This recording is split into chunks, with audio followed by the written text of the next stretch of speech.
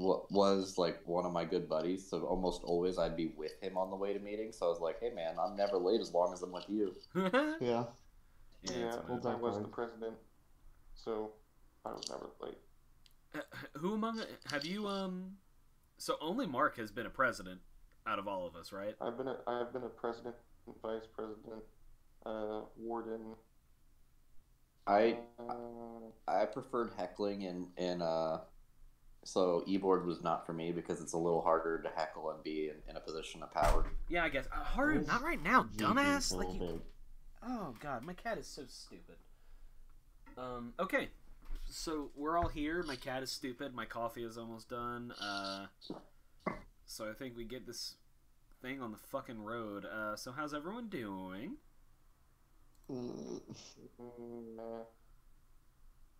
I'm I'm I'm glad to hear it. I'm glad that everyone had a terrible day and we can play D and D now. Um. So I guess uh, crank myself up here. Um. Fuck, I don't know. All right, good good game, guys. I'll see y'all next week. No, um. So we can do this one of two ways. Um we left off in the middle of you guys uh, well not you guys but um, book in combat with the chain demon uh, chain devil Yeah. excuse me. And you have a you have a mind flayer helping you so we can go one of two ways. We can play that out or we can just commit to this being the last thing and skip to the vault of dragons. I'll leave that up to you I mean, I'm gonna kill the thing. I'm assuming. you probably wouldn't have done too bad. So, but we we we skip the combat. It's not too terribly important. As Okay. long as I can burn down the building when we leave. You're gonna burn down uh, Gralhund Manor, uh, not not uh, the fucking the Cassalanter villa. All right, cool. Um, let me go ahead I'll and make it an accident. let me go ahead and write that one down. Uh, Don't look Um, like an accident. and make a stealth roll. Well, I'll, I'll do it for you, but um, okay. Can I give myself bardic inspiration? No, you cannot. Um, I know. I, I pumped myself up. and that's a 19 on the stealth roll. So, Yeah, that's a pretty good stealth. mm-hmm. Okay. So, So now we need to talk about something. what's that? Uh, Tasha's hideous laughter. Uh, that's been resolved already. Don't worry. Um, Okay. because whenever you're leaving the house and you look back into the playroom where the children were located, they're no longer there. Just two. Um, you just see two pentagrams on the ground.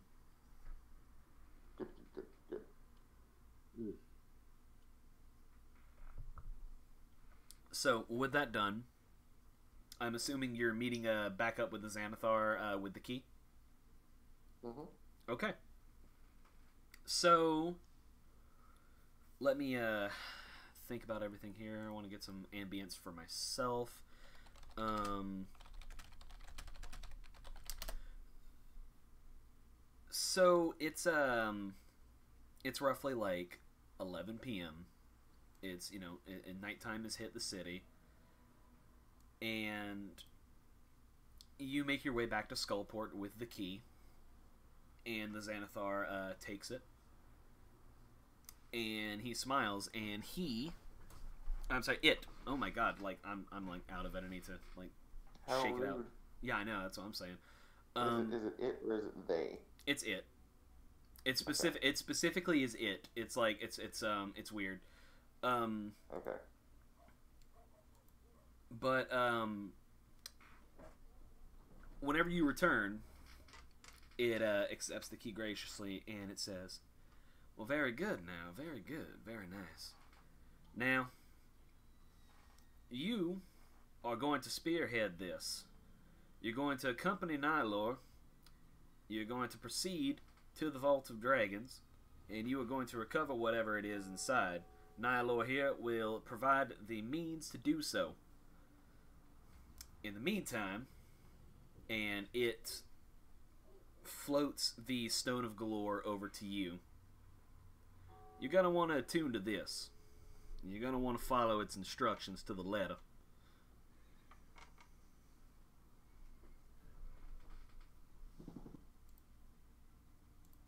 And what do you do? Okay.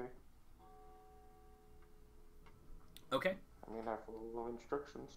fair enough. Um, so let me uh, crank you up a little bit. Yeah, so the Stone of Golorr is now in your possession. You are now attuned. Um, and Oh, I'm just going to use your wisdom check from before, unless you want to roll one again. Um, I don't care. cool. Um, so yeah, use that wisdom check from earlier. And Snake. yeah, I know, right? Sorry. Um, I haven't had my ringer on like ages, so I like completely forgot what it was like.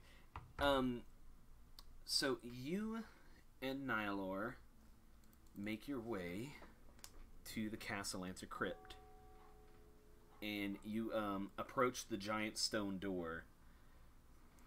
Um, and I was gonna say Geralf, Rush, and Jarlaxle are in waiting, and they are in hiding, but they did pass their stealth check last time, so they are undetected. The thing doesn't have. I'm just covering all my bases here, making sure that doesn't. Okay. So, the first thing uh, that happens is Nihiloor um, takes a. Um, and as soon as you guys enter this area, Nihiloor resumes its form as a mind flayer. Um, and it presents a vial of black looking uh, liquid. It chucks that onto one of the little red orbs in front of the door. Um, it then takes the little coupon that was being given out at the castle and places that in the third, uh, the second little red uh, thing, and then it produces a small little blue rock, which it wraps its weird tentacly knuckles on, and it starts to play a recording of a familiar fa- a familiar voice um, singing uh, "Your Beardy Face," um, and you could swear uh, it's got like a weird, unnecessary harmonica um, inflection to it, like you know, break in the middle of it, and you could hear what sounds like a dog or maybe a wolf panting in the background. But It's an unnecessary cadenza right in the middle. but lo and behold, it is a performance of Your Beardy Face. And after the performance is complete, the third little dot. I'm pretty sure. What's up? I'm pretty sure the cadenza is just a lick, like in six different Yeah. keys. But as soon as that finishes, the third little dot in front of the door uh, clicks, and the swirling portal that was in front of the door um, starts spinning faster, and it becomes more of a colorful blue. Um, and it looks like the way is open. Do you proceed? I know that the answer to most of these will be yes, but I, I, I do have to ask. Who will show you the way? Do you know I'm the gonna I'm gonna look over at Jarlaxle and look for a signal. He he's he holds up a finger and he's like, just wait. Okay, well then I'm gonna wait. Okay. Um, and let me just check with this. Um, so yeah, Yeah, I'm a, yeah, I'm a, I'm a broken man. I'm, I'm a lackey now. so with that, We tried, dude. We tried. with that, um, the two of them disappear into the portal. As soon as this happens, Jarlaxle m- makes a motion at it, and um, you see the portal start to slow down. So Jarlaxle makes his way into the portal and disappears We- through it. We go. Let's yeah, go. we're just gonna run after him. Okay. like, Come on, Renaer. I'm gonna jump into this portrait. All right. Yeah. Bum bum bum bum bum bum. Uh, so let me just get my Vault of Dragons thing set here. Come on, where are you? Dutchy, stop stop chewing that. Oh yeah, I forgot that you have the, the cat. Love that cat. Okay, we are in the Vault of Dragons, boys. Um, I need a. Uh, oh, I know what we're gonna do. Do the stone temple from uh, Majora's Mask Boys. Well, that means their hope because we're not doing water temple. We won't get lost. I don't know, man. Stone Temple from Majora's Mask is pretty fucking confusing. Yeah, that's true. But it's not. It's like I said, it's not water temple. You right. Dude, I don't know, water temple like the back of my hand. Oh, that's new. So here's the question of how we're gonna do this. Three keys bring them forth. So the entrance. Three age worn columns support crumbling stone bridges about 60 feet overhead of you. And the ceiling rises of like another 20 feet above those bridges. Um, and set into these two alcoves are 12 sets of double doors all over the place. Um, crumbling bridges above. I'm just trying to get all the important shit. Um, you're rolling V2. So yeah, this is a two-pronged hallway, so to speak. It's it's it's a um it's a hallway with pillars in the middle, kind of breaking it up into a loose two hallway kind of thing where you can pass through the middle. You know what I mean? Kind of like a, a highway where you can take the median to do a U-turn. Um, hmm hmm and there are 12 sets of double doors.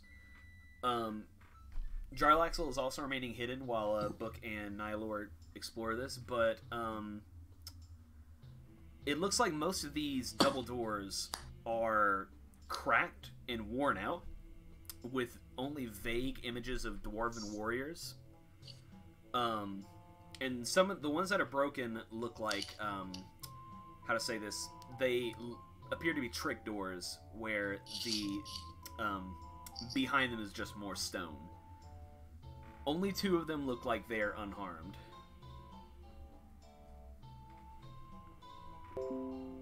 So you have a left and a right uh, book. Which do you choose?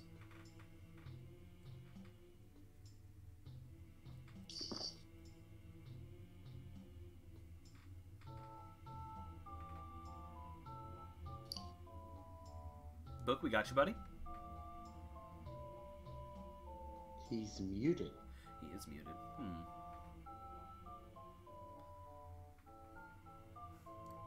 Let me see if he left us a message anywhere.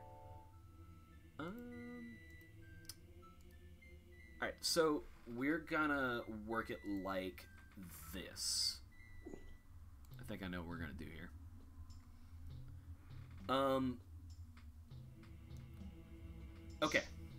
So Rush and um, Rush and Gerald, if you guys are in the entrance. You guys see all these stone doorways. You guys see the left and the right that you could take.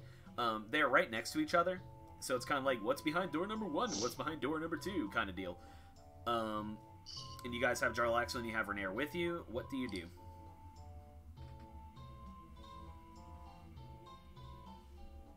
I flip a coin. All right, I mean that's perfectly valid. I don't actually have a coin. Can somebody flip a coin? Uh, let's see. Slash roll head. Uh, one is um, one is heads, and it's okay. So tails. It's all right. So we go do door, door number two. All right, you take the door to the right.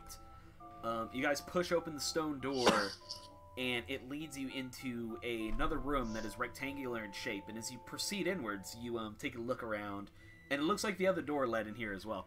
Um, on the I other look end, at my coin. I look at my coin in both sides. Else. Huh.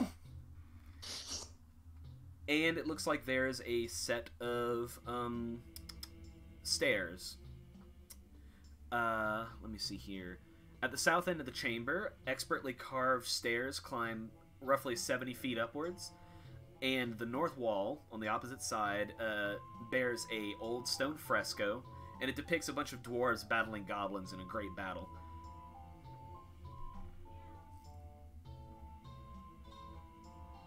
Cool. Uh, I want to look at that fresco. All right, make a wisdom save for me. God damn it. Oh wait, I'm a cleric. I should be good at this. I always, I never play wisdom classes, so I'm just like, time it happens, it's always like the death. Mhm. Um, That is a 14. You successfully resist the charm spell. You feel the fresco pulling you very strongly, and you hear the intoxicating sounds of dwarven battle songs and drinking tunes. And you hear the sound of like steel on shield uh, as you hear the uh, sounds of goblins screaming in their deaths. But you manage to tear yourself away from it, and you feel that the fresco will no longer bother you. Okay. Um, so I want to look at it a little bit closer since I can do it safely now. So it is exactly pretty much as it is. Um, it depicts a bunch of dwarves, all in like vaguely different armor. The armor doesn't appear to be the focus of the crafting so much as every one of these dwarves has their own family crest excruciatingly detailed on this fresco. And above them appears to be a dwarf in the sky with burning eyes. Um, you can make a religion check for me if you would like. Hey, another thing that I should be okay at.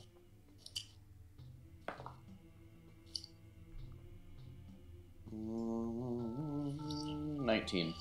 All right. Um. So you, for one way or another, um, know this as a depiction of uh, Gorm Gulthyn, who is the dwarven god of vigilance, and he is also known as Old Fire Eyes. Um, he's generally worshipped by dwarves who are stationed at the underground outposts on the very edge of dwarven um, territory and are constantly fighting like goblins and other underground things. Um, yeah, and it's generally said that uh, to look upon his gaze, uh, or for his gaze to look upon you, is to know death. All right. Um, and as I'm inspecting the fresco, does any of it seem elevated or anything out of place that would be basically indicate that there's anything here, like physically, other than the fresco? No, it looks like just a part of the wall. Okay, cool. So I kind of relay this information and like start to nerd out and be like, "Oh, and this is blah blah blah," and, like just give everybody the. Oh, and by the way, uh, that's uh, to see the eyes is to see death. So we could have a fun time, boys. Jarlax will um, to see the eyes is to see death. or That to, seems bad. to meet his gaze, I should say. Oh, to meet Um, his gaze. yeah that. and Jarlaxle walks up close to it and succeeds the wisdom save effortlessly. Um, because he has like a plus 12 to wisdom. Um, he looks and is like, well, well. Dwarven architecture. Interesting place to stash your gold there, old Dagult. Very interesting. Well, I don't see anywhere except for the door for the stairs. How about we head on up, boys? Let's Sure. All right. So you guys head up the stairs, bring you to the next area. Um, so you're standing in a 20 foot high um, hall.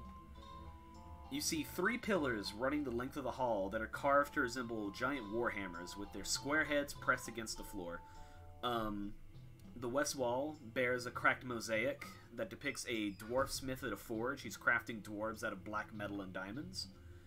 Um, and three archways in the east wall lead to crumbling bridges that you can see um, into that span the entrance foyer that you guys were just in. Um, and make a perception check for me, boys.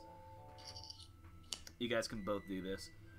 Perception. Let's see where that is on the 24. 24, okay.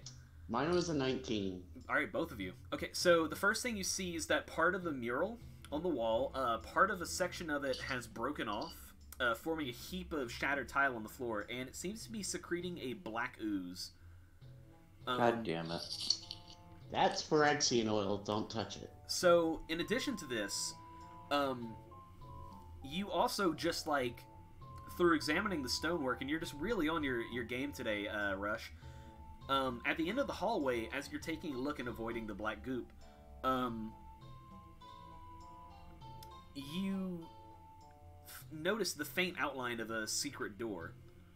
Um, and as you trace the outline, um, it says, uh, let me think here. I open only for the sons and daughters of Moradin. Okay. Well, I don't know about you, but that's not me.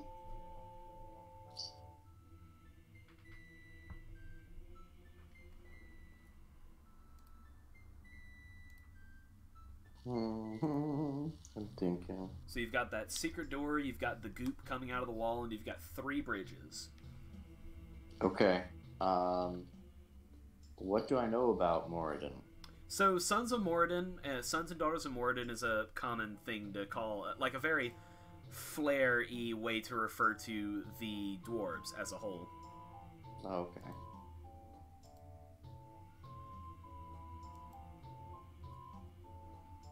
Well, I mean, I doubt it's gonna work, but I guess you never know. I try to open the door.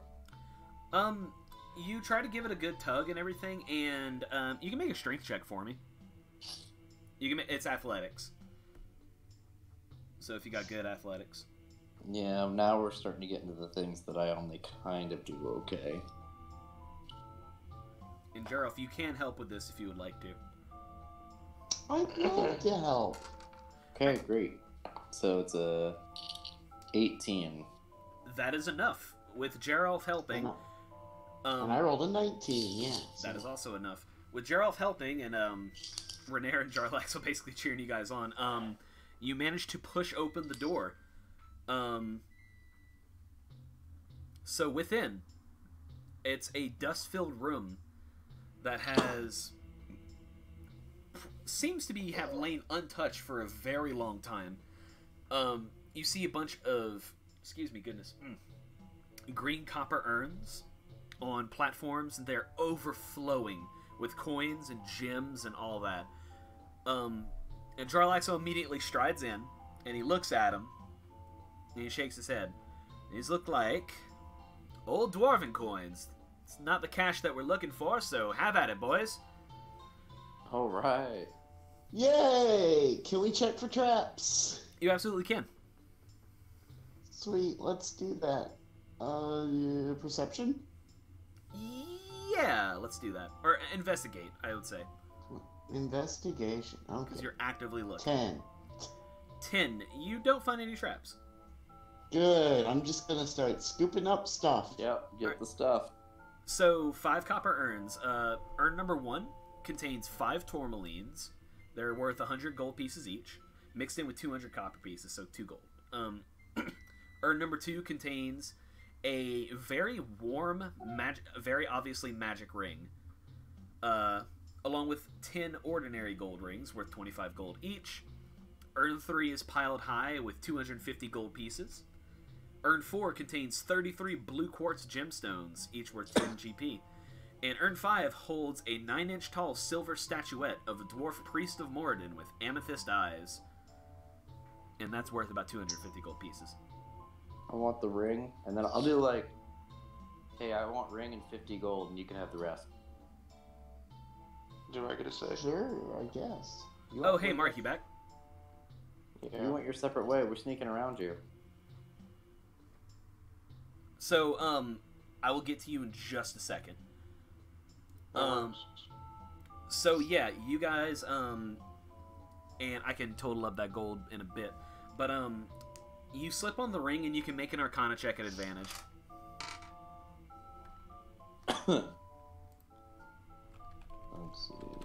Second d20. Oh, no, that's a d20. I don't know my fucking d20. There it is. Uh, let's see. Arcana's plus 5, so. 16? No. Plus 5. Duh. Sorry, I'm doing math wrong. You're good. 13. Uh, you identify this as a ring of warmth. While wearing this ring, you have resistance to cold damage.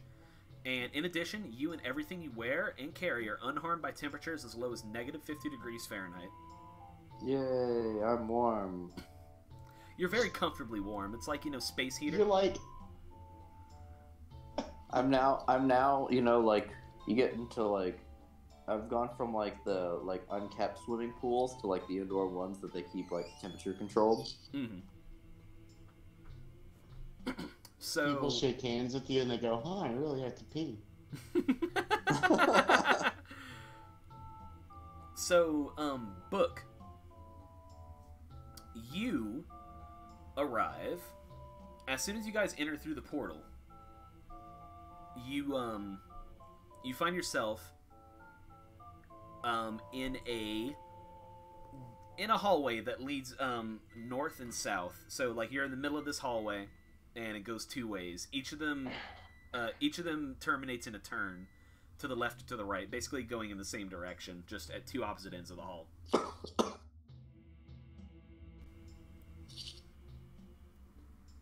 It's a it's very dimly lit. There are no torches, but your night vision is enough to like basically carry you. Hello. Hello. Did you hear what I said? Did, did we lose him? Did I lose you guys? Uh, No, you're here? Oh wait, fuck, that's me. Tyler. Like. Tyler.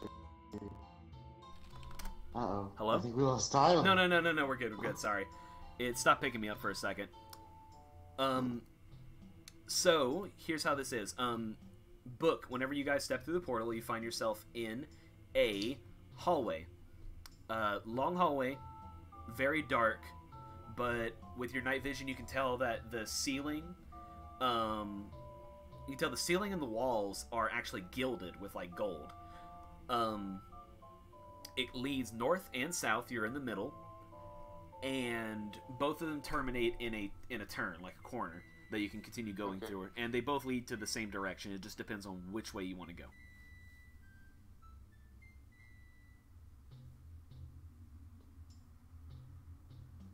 You said the ceiling and the walls are what you cut out.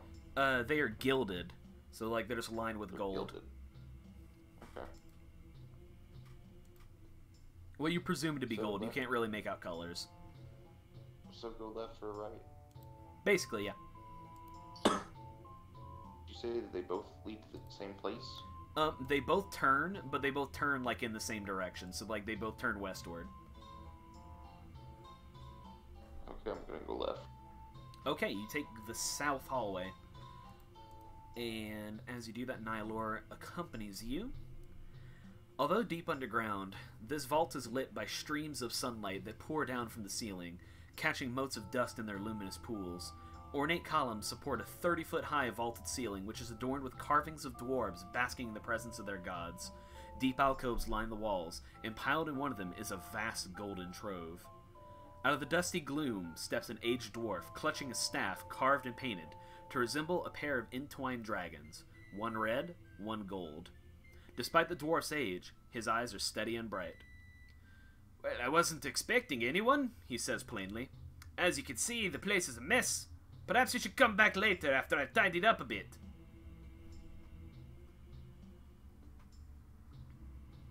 Hmm.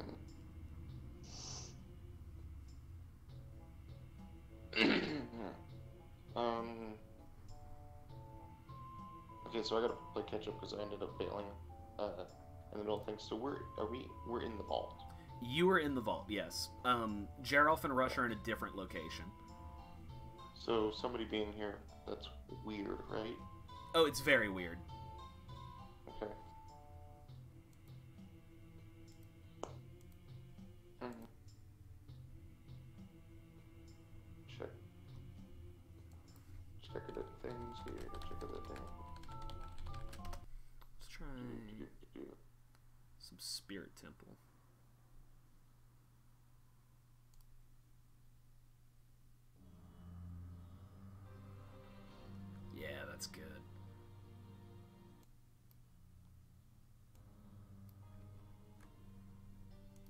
So it's just an old dwarf and he's clutching a very fancy staff.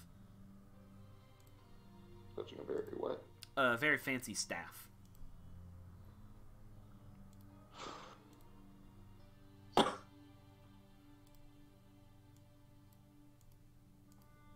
Is there anything else you'd like to know about?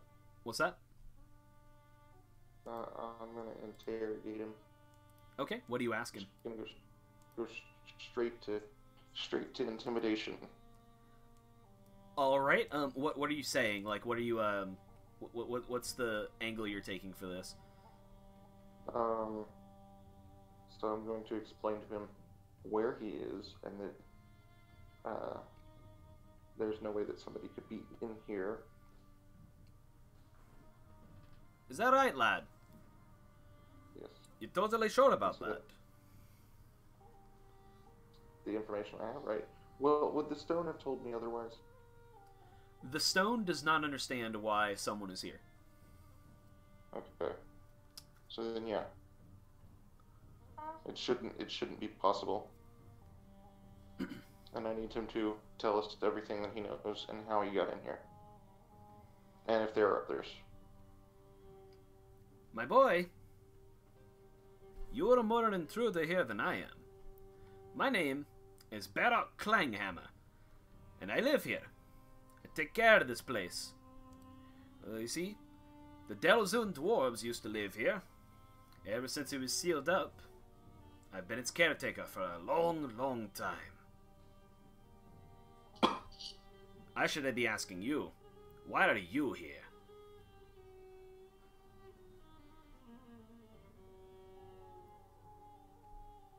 Because it is my right to be here.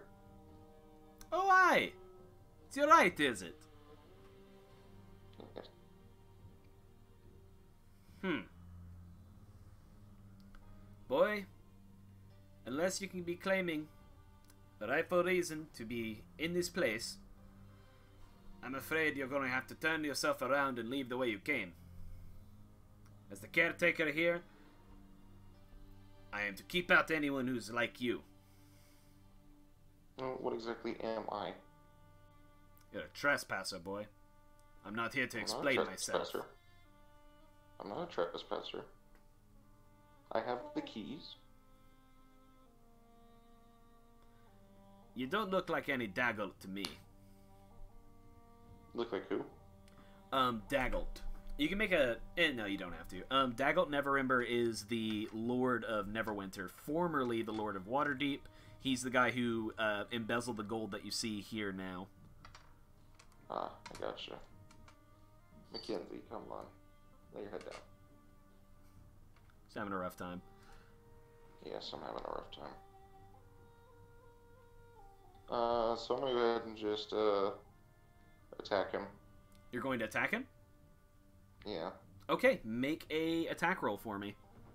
Uh, Dissonant Whispers. Okay. You um try to speak arcane words to the dwarf. Mm-hmm. Um Needs to make a save. yes, he does. What's your uh, save DC?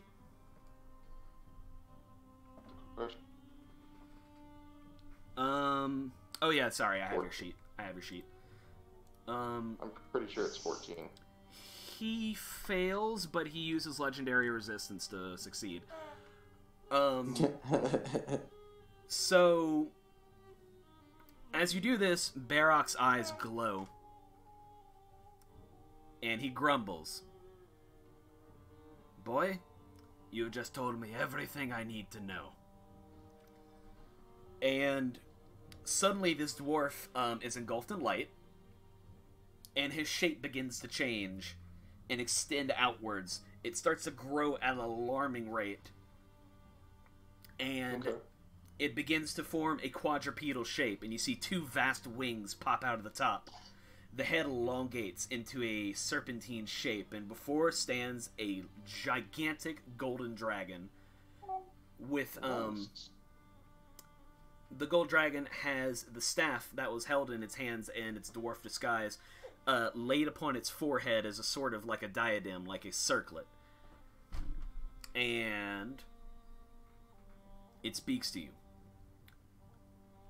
You had your chance to prove your worthiness, but you are just a thief like the rest. I sentence you to death.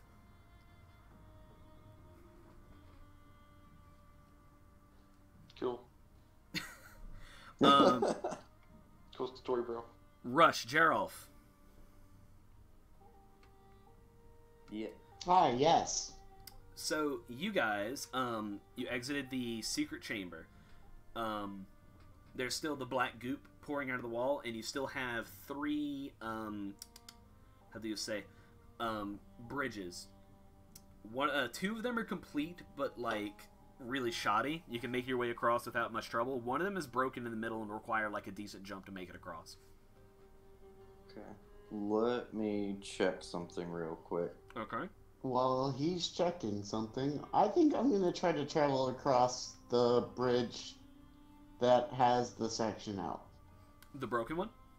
Yeah. Okay. Um, make me an acrobatics check as you try to jump across. 21. You you vault the shit out of that. It's a it's a pretty far jump, but you you make it pretty well, um, and you find your footing nice and easily on the other side. Um, this leads. Let me just double check this real quick. Ha cha cha cha cha. Um, it leads to like a titanium door that has like um, very obvious door handles and everything. Just gonna yell back and be like, hey, there's a big metal door over here. Sorry, not titanium, adamantine.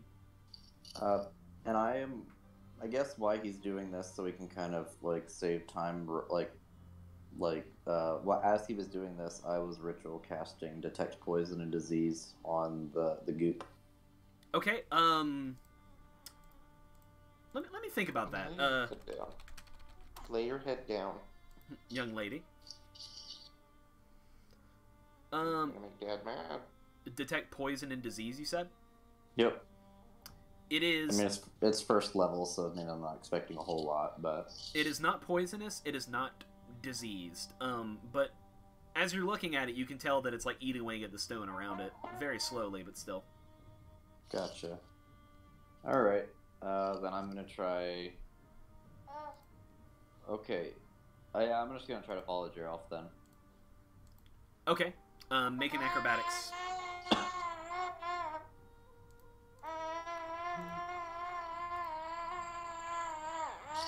You said acrobatics. Yes, she wants to play too. Uh, that is She's a upset about your fifteen. 15 is enough. Um, you make the vault, and uh, you kind of, you kind of do a Frodo.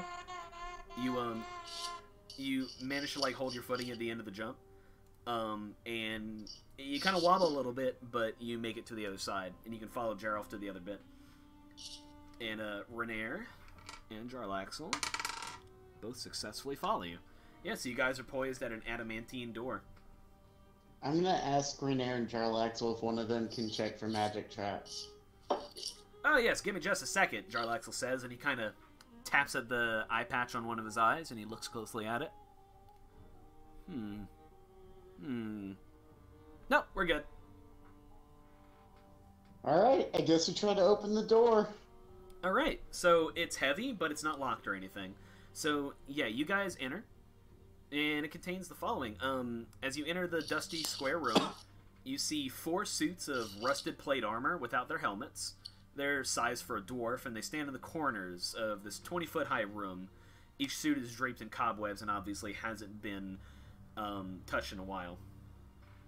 And then there are glowing room, uh, runes in the far wall and their inscription reads, "A secret never before told will part Dumathoin's lips." Uh, you can make a religion check if you want. What was that Come on. modifier again? Try, I don't know if it's Okay. like anything. Yeah, I probably Uh, did like anything. I did not do not do great. That is a, a nine. Yeah, Dumathoin for some reason doesn't really ring a bell. I got an 11, but And eleven also doesn't really tip it off. I'm gonna look at Renaer and be like, I mean. Uh, eh? Renaer, okay, can you repeat the runes like what it says? Not the runes, the inscription. What it says again? a secret never before told will part Dumathoin's lips. And Renaer thinks on it pretty hard, and Jarlaxle shrugs. I don't make it a habit to memorize dwarven gods, he says. Um, Does does it look around like looking around? Is there anything that would uh, look kind of godlike Renaer, as far as like? I was gonna say Renaer, um, f- actually peeks and He's like, Dumathoin, if I recall correctly, is the dwarven god of secrets. Oh, well, maybe we just need to tell the secret. Mm. I'm wearing women's underwear. A secret never before told. Um, is that true? Yeah, Is, is Rush truly wearing ladies' underwear? Has I mean, Has he told anyone this before? probably not. Gerald's the Not closest thing even- he's got to a friend that's alive anymore. Not even the DM. Yeah. This is lame, but yes. Um, I was expecting like cool secrets and shit, but all right. Um, I mean, I can tell a real secret if you need me to, because I guess I well, I haven't told anybody, but um, a trapdoor flips open on the far side of the room, uh, leading to a uh, stone staircase that descends downwards. Um, Rush, you see this, but no one else does. I, Gerald's just gonna look at Rush and be like, "Well, I guess it's not true because it didn't do anything." Uh, Okay, Weird, fine. You but okay. secret. Gerald's gonna think about it for a little bit. He's gonna look at Renaer and be, "Well, I don't know if that would work. So, can I metagame for a second with you, DM? Uh, sure. Would would telling Rush that I'm part of the Harpers be a secret that I have never told anybody? Because I haven't told people, but people know. Does that make it a secret? Well, I mean, it's a secret between me and the Harpers. It shouldn't, but I really want it to be known between the two of you, so yes. Okay. You I'm bastard! gonna, I'm gonna look at Renaer and be like, sorry. And then I'm gonna look at uh, Rush and be like, uh, Renaer and I are part of the Harpers. And Renaer looks disappointed, but he shrugs, and Jarlaxle claps. He's like, I knew it!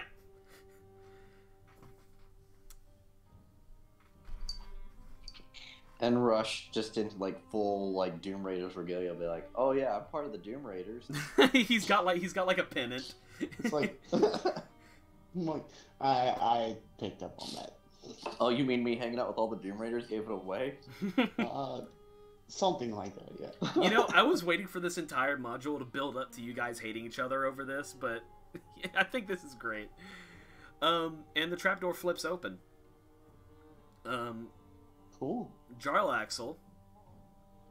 Um, oh look, the the door opened when you said the thing, not when I said the thing. Oh, And Jarlaxle and Maybe- Renair see, see nothing. Maybe I'm not wearing women's underwear. I'm just gonna look at me like, sure. um, Jarlaxle looks up at it and he's like, "All right, I get it.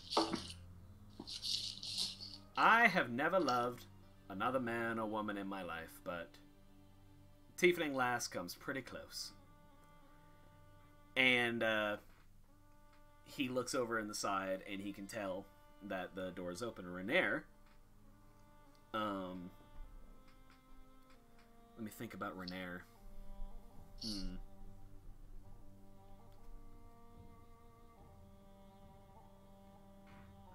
And he looks at it and he says, If I had my way with the gold, I'd spend every last bit of it, putting my father somewhere where the sun would never touch his face again. And the door opens for all four of you guys to go through the trapdoor. Like, look at me like, oh shit! is that is that like a dark thing, like where he doesn't have to work, or like uh, where the sun don't shine, like fuck him kind of thing? Like in the oubliette. Okay. Alright, so yeah, you guys have. oh shit! You got. Yeah, that's not very Harper-esque of you. well, you know, long time differences. I've been Dagult Neverember's son for longer than I've been a Harper. You were supposed to help the Harpers, not become one of them. Shut the fuck up, Josh. So yeah, you guys um, can proceed down this trapdoor if you would like.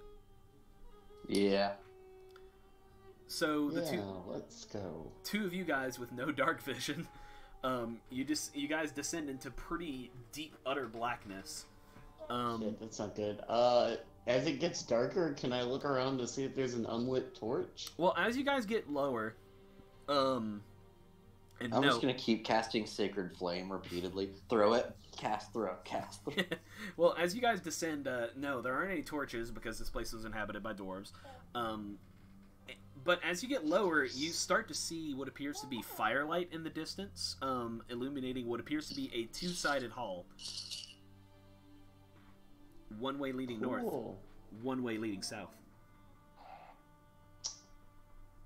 That is uh how And it did- two-sided halls usually work. And then Rush breaks the fourth wall and says, "You want to make Tyler hate his life even more?" Split the party. Split the party. I guess uh Geralf will just poke his head out and look both directions and see what he can see. So whenever you poke your head out of the first direction, you see a large golden dragon.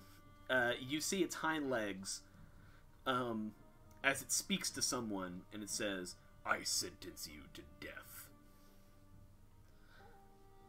Oh, I'm gonna pop my head back in and go, oh, this isn't good. What's in? What's the other way? Um, if you pop your head in the other way, you see the dragon's head, as both of these hallways lead to the same location. Oh no! Oh, that's really not good. Booker, So I recommend we Oh, I mean, what were you gonna say? I'm gonna look at Rush and the rest of the gang and be like, so I recommend that we go to the side to the back of the dragon. uh, awesome amount of gold coins. Um, but yeah, um, Book, are you still with us? Yep, I'm here. All right. So, um, I'm going to roll your initiative real quick. Yeah, I, I win. Uh, you go ahead and- do actually roll pretty good compared to Nihiloor. Um, and then Aurinax. Um, wow, damn. Okay, so it's gonna be you, Nihiloor, then Aurinax. Um, Alright. so, go ahead. I'm gonna cast darkness on the dragon and back out of that area. Okay. Um, let me see. Darkness, fifth edition. uh, darkness with dark vision, can't see, and non-magical light. Okay, yeah. So you just like cast it on the dragon's head Yes, because it's like 15 foot. So yeah. it's a 15 foot radius. Okay, yeah. You do that, and you back out to one of the hallways. hmm All right, high or low.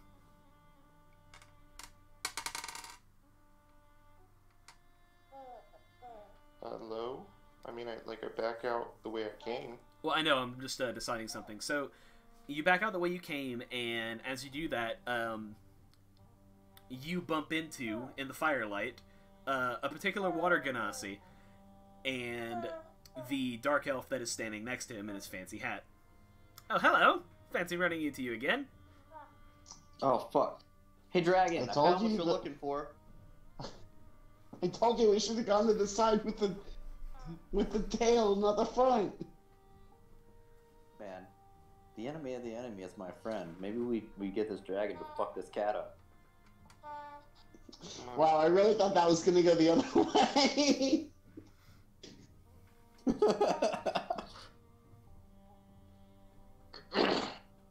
hey man, this cat literally fucked up my one chance. For for my second trick, I cast blindness on Rush. It is. it is still your turn, so that's not going to happen. You've used your action. Uh, so let me um. Rush and Gerald, give me initiative rolls. Uh, I already rolled it. It's a 14. Okay. I think this is I think this is the one character I play where initiative is not something I'm good at. Oh, never mind. I have a plus zero to initiative, but I rolled a nat twenty, so twenty it is. Okay. Well, Lay your head down. my initiative has a plus four, and I I rolled a 14. So, you know, it's just a it's a bad time all around. Or I got a 14. Okay. So, um, uh, nat 20 trumps other initiatives, right? Even if they rolled higher. Uh, I feel like that's DM It's discretion. completely up to you. All right. Um. So what happens is Jarlaxle goes first, and he flips out. hey, Mark. You know I don't hate you, buddy. You know I love you very much. Nah, it's fine. I figured Book's probably gonna die at the end of this. Um. Just gonna have to make a Constitution roll for me. Um, even even though I, I honestly feel like Book was the the one that had the best motives for all of this. So I'm gonna roll your Constitution. Um. Oh, fuck. Okay. Yeah. So um, you feel a knife stab you in the gut, um, Ooh. flying out of um Jarlaxle's wrist gauntlet, and your vision darkens super quickly, and you fall down to the ground fast asleep. Cool. All right, gentlemen, What's new, pussycat? Let's go. He should be out for a good little bit. Let's go and take care of a dragon, shall we? Alright, by take care of a dragon, do you mean kill a dragon or talk to a dragon? Because there's a bunch of different ways to receive take care. Well, let's go ahead and figure that bit out, shall we? It's a guardian. If we just explain our good intentions, maybe this will all work out. I yeah, like to be that. fair, he's not pissed with us. So, Hey, yo, dragon, it's your boy. So, you guys step out. I mean, Yeah. might as well. All right. So, as you guys step out into the main chamber and the dragon finishes incinerating a mind flayer into an unrecognizable pile of ash, it whips its head around oh, that's real not good. out of the spear of darkness, and it like more interlopers. What place have you in? And then it sniffs. I smell the blood of Neverember. And Renaer steps out of the um steps out of from behind you guys holding the Stone of Golorr. And he looks up and he says, Aurinax, I remember you. I remember everything now. My father brought me here when he left the gold. It all makes sense now. And Aurinax nods. Um. Young man, your father entrusted this great wealth to me, and it is my duty to guard it, no matter who has come petitioning for it. I'm afraid I can't let you leave with this. And Jarlaxle interjects and he's like, What if we intend to return it to the fair city above? Uh, they could deal with they could deal with a little bit more charity in their lives. I'll tell you that much. Especially with how uh, my compatriots have had their run of the place. No offense, boys. I was gonna be like, okay, rude, but yeah. Hey, hey, man. I mean, the, the only none of us- casualties, Yeah. the only casualties are my friends. Like, Jeroff, lit- you literally burned down a building. Okay, listen. Nobody died in that fire except for people who deserved it. So, So, um, okay. Um, do you guys say anything to the dragon to convince him to part with the gold? Hmm. Yes, but let me think. Yeah, Uh, I'm kind of in the same place. Uh, All right, Mr. Dragon. Actually, no. Sorry. What's your name? It's not Mr. Dragon. You may call me Aurinax. All right. Arnett. Uh, so he, here's the deal. We're all pretty, uh, pretty humble beings, except for maybe like that the fucking cat. But we took care of him. Don't worry. Um, we mean well. Like nobody's really, uh, nobody's, uh, we're all looking to put money to good use. Like, you know, like like uh, like the dark elf said, return to cities. Uh, uh, you know, rebuild other parts of the world. Like we have noble intent, mostly. Um, so yeah, just like give us some dragon. Make a persuasion check at advantage. Um, that is double advantage. Excuse me. Hey.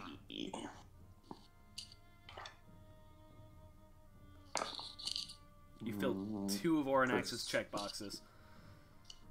Uh, that is a twenty-one. Excellent. Aurinax bends his head, and then it looks up. My time down here has been long, to say the least, and I believe greed has clouded my judgment. You may part with the contents of the Vault of Dragons.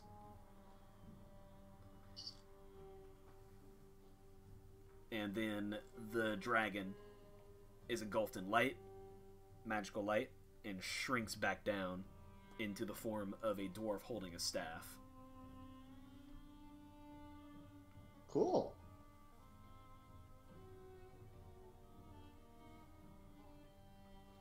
All right. So it's Um, so it is two alcoves of 500,000 gold apiece. Um, the combined weight is 20,000 pounds. However, um, I believe you guys do have a bag of holding. probably. Uh, well, we did. Oh yeah, that's right. I think you'll- Unless, unless Jarlaxle Well, has another and I bag was of gonna holding. say, and don't worry, boys. I've got a plan. Prepared for this, you see.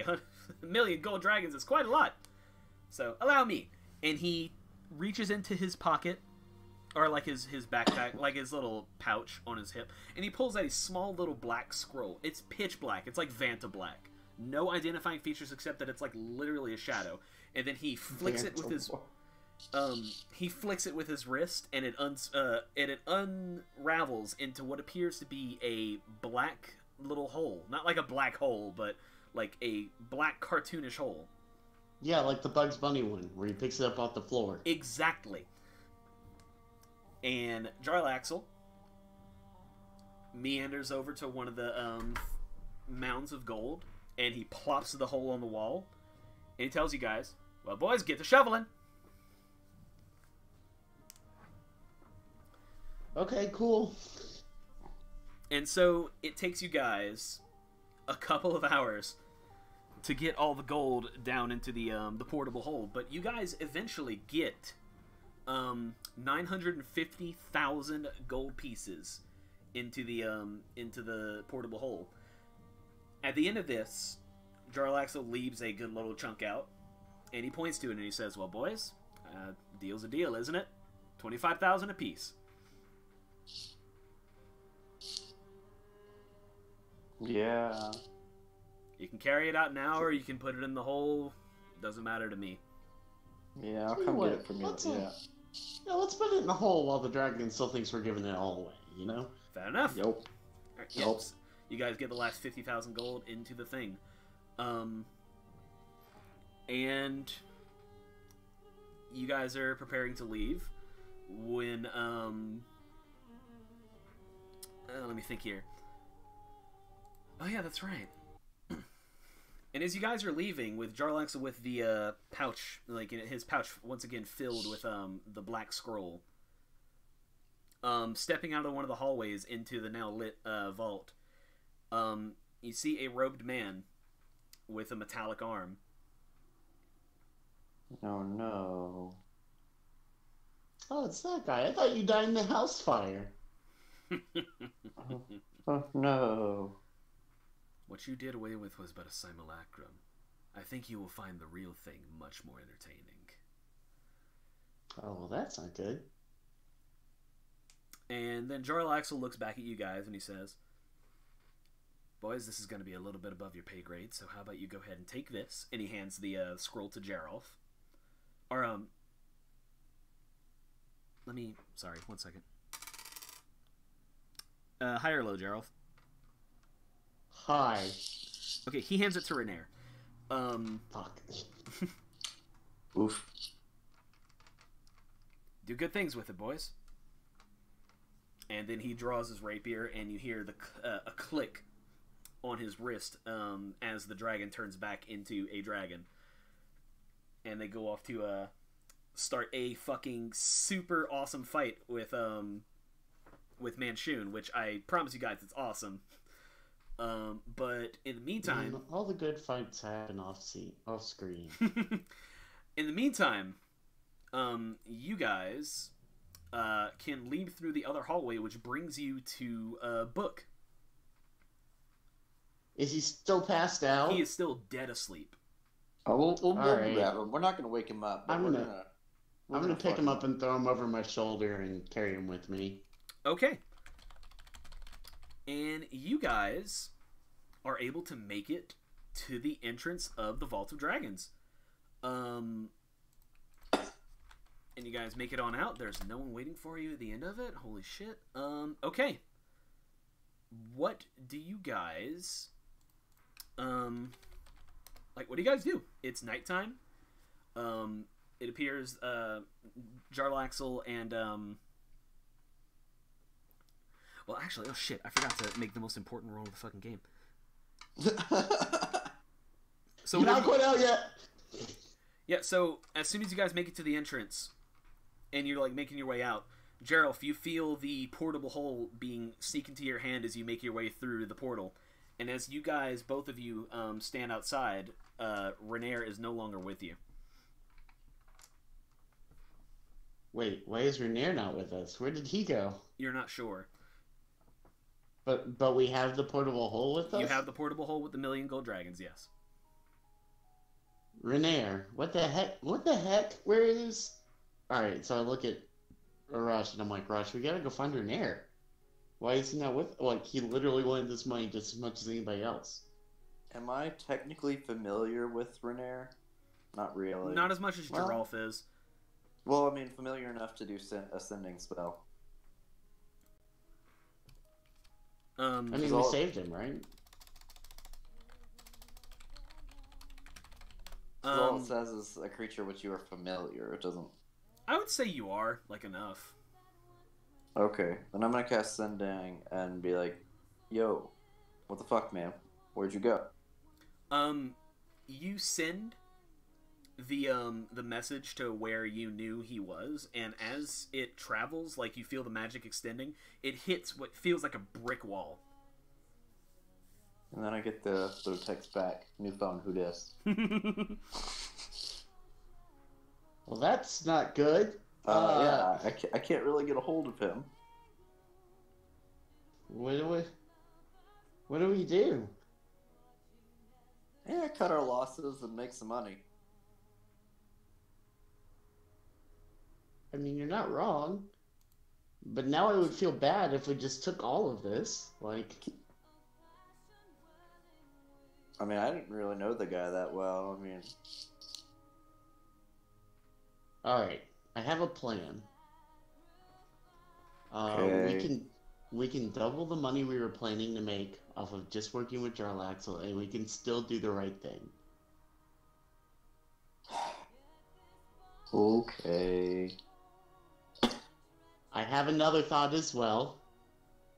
We should cut the cat in. Because the last thing I need is a damn cat trying to hunt me down for the rest of my life for cutting him out of a deal he thought he was a part of.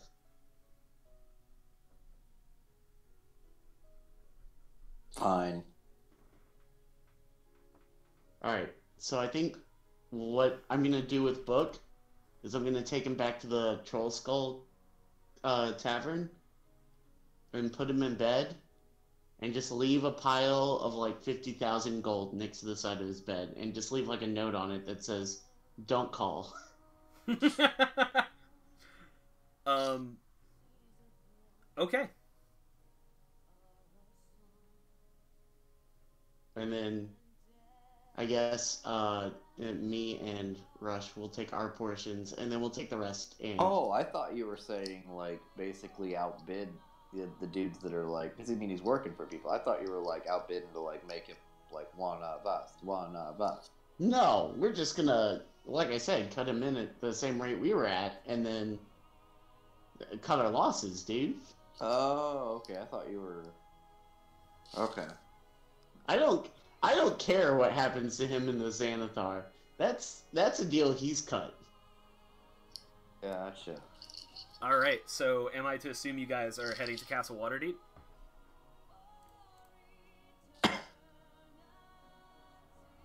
Yeah, I guess so. Okay. It's about midnight as you guys uh, do this. But um as you um approach like the nighttime guards um after some explaining um you guys are let through. Um and you're quickly brought to the throne room of the open lord. And out steps a a um a very tired looking human woman. Um dressed in like you know queenly regalia, like very nice uh, dress and everything, and a crown on her head with the symbol of Waterdeep emblazoned on the gemstone in front of it.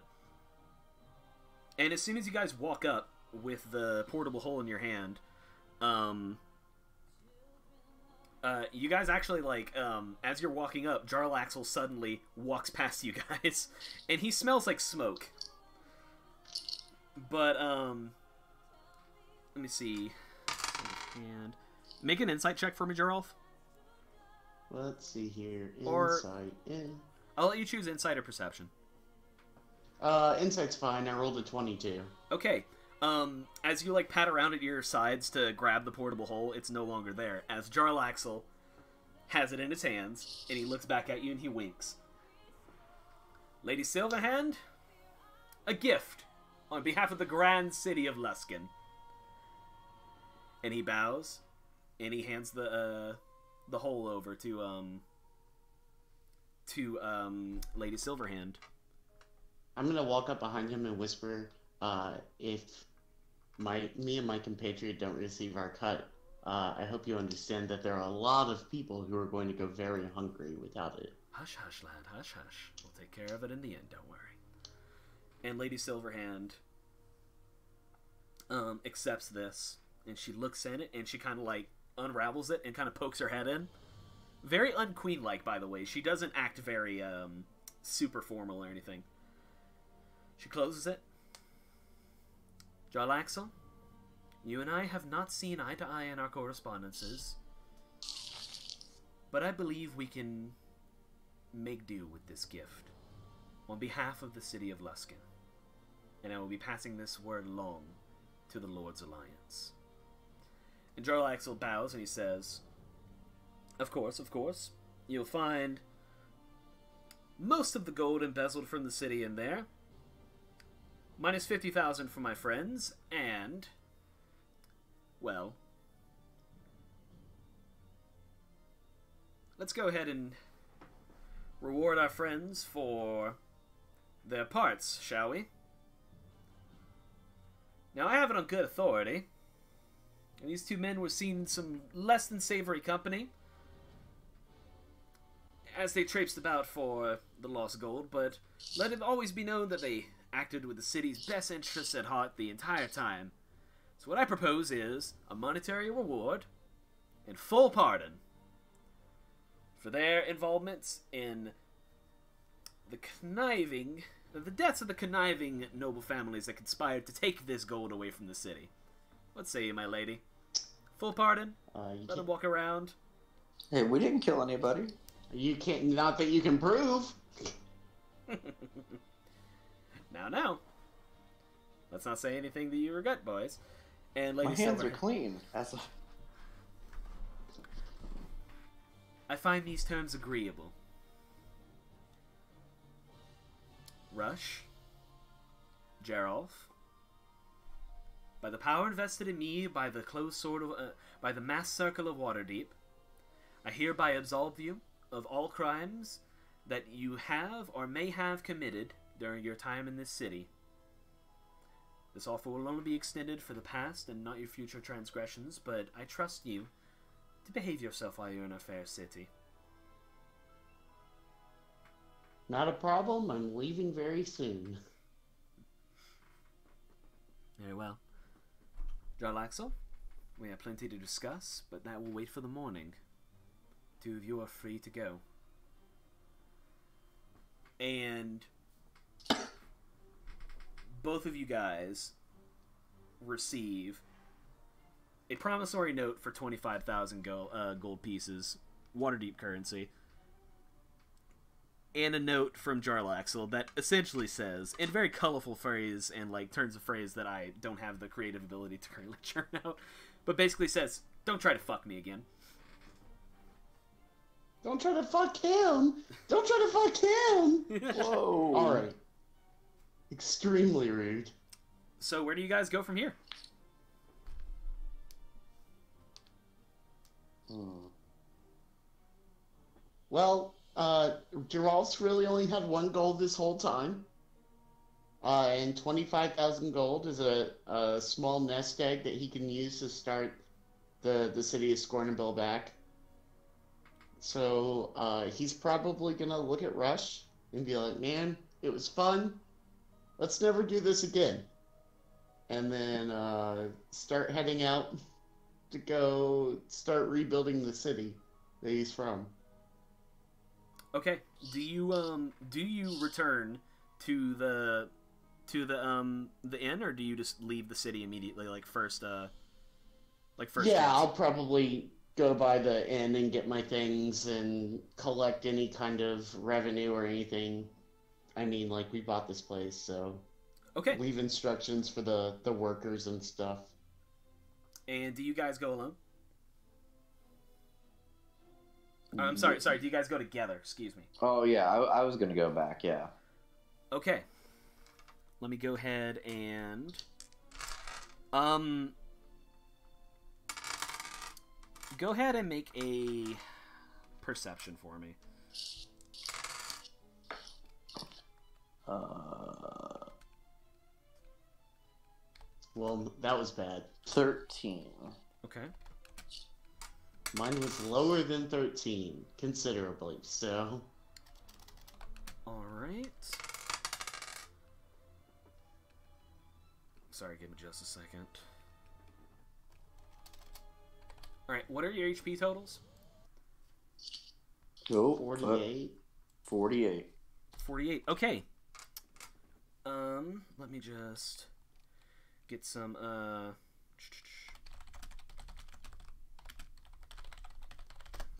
get some music. Um so yeah, you guys um enter the um Troll Skull and as soon as you guys do, um you feel a wash of magic over you as the now awake book tries to cast sleep on you guys. But uh, you said you had 48. Yeah. Correct. Okay, um, that is not enough. Uh, that is enough to um, because he, I rolled out 46, um, things. Um, yeah, he tries to cast sleep on you guys. Uh, specifically on Rush to begin, but you're able to just barely shrug it off and remain just a little bit groggy. Um, and everyone is gonna have to roll initiative. Fucking book, God dude! damn it! We literally cut you in a higher deal than we got! God. Alright, well, I rolled Fucking- a nat 20, so let's murder book and get this over with. I rolled a sixteen. All right, and Book rolled a 19. So Geralf, One second, I gotta look up what this stupid sword does again. Rod of Lordly Might. Yeah.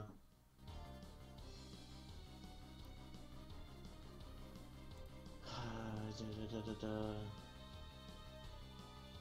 Where's the? Do these happen as a bonus action? Is what I'm wondering. Yep. All right. Uh, I'm gonna press the button on my uh, rod of lordly might that allows me to move up to what 30 feet or something like that. Okay. Does that put me in range of book? Yes, it's a small tower. Okay, I'm gonna make. Okay, I'm gonna make an attack on him. Okay, roll to hit. I rolled a 19. 19 hits, roll damage. Uh, 14 damage. Okay.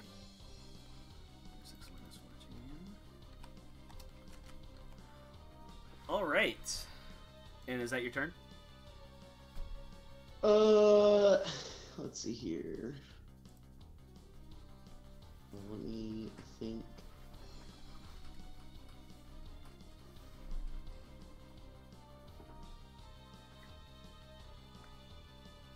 Yeah, I believe so. All right. Um, book. Um, well, you're muted. He's uh, typing it. All right. He casts fireball, centered on with the last. Um, he pulls out the Gralhund uh, amulet of fireballs, blood like seeping from his chest, and he launches the fireball on the far end of the room. Both of you guys make dex saves.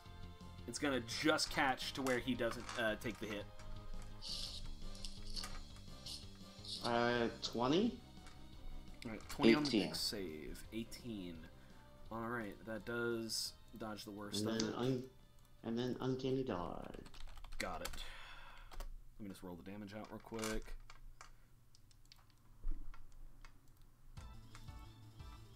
Alright. 86.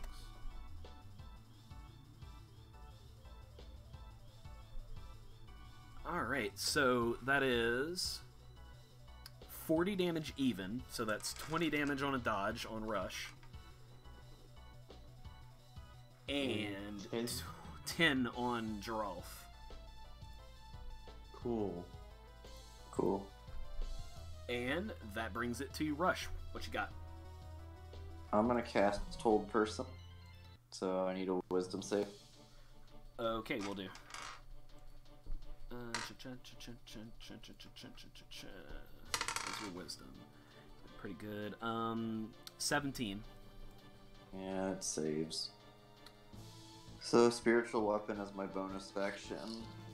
Okay. That is a 23 to hit. 23 does hit. And that will be 7 damage. 7 damage. And then for the dice roll is an 18. 18. Uh, every time I forget to pull up the. This is the last time probably I will ever have to look up the the effects of the Vriska Sorket die ever again. Um. So let me see. Oh, son of a bitch. Sorry, give me just a second. I have to log in and I forget the password. But I know that 18 does something.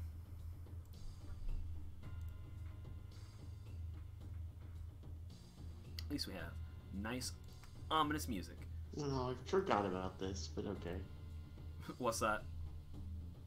Uh, the extra effects on the stupid weapon. There's too many. Yeah, I know. I'm sorry. It's me not balancing shit properly. Okay, Vriska Sorket's Ruby die 18.